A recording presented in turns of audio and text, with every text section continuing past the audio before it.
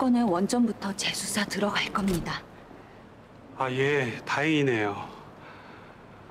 그럼 가보겠습니다. 연락 주시죠.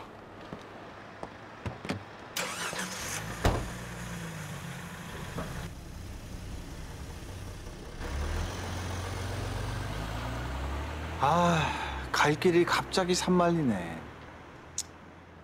갑시다. 어딜 갑니까? 아우, 왜 이러는 겁니까?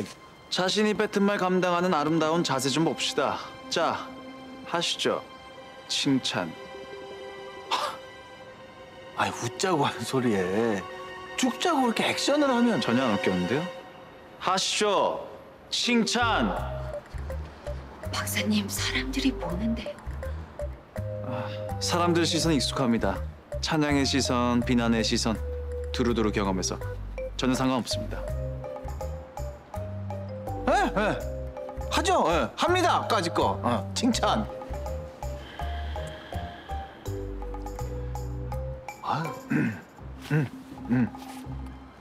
신하루 박사님. 대 대다 아우스을 못해. 아우, 아우 차라리 한 대 쳐, 쳐. 이씨. 아 이고 경찰이 약속을 이리 안 지켜서 되겠습니까? 어떻게 빨개졌어요? 괜찮으세요? 아니요.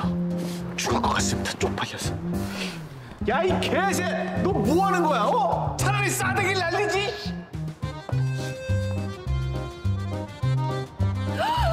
도망가세요. 싸대기 맞기 전에. 어이, 진짜 미친!